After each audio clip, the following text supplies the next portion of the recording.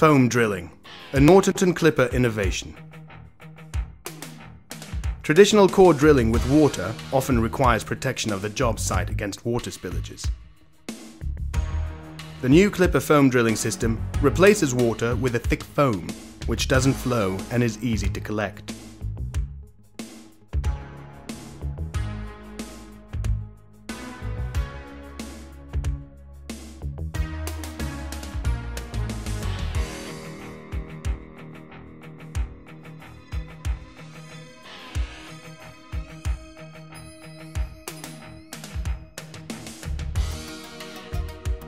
The foam generator can be connected to any drilling motor and the foam is collected around the core bit, whatever its position.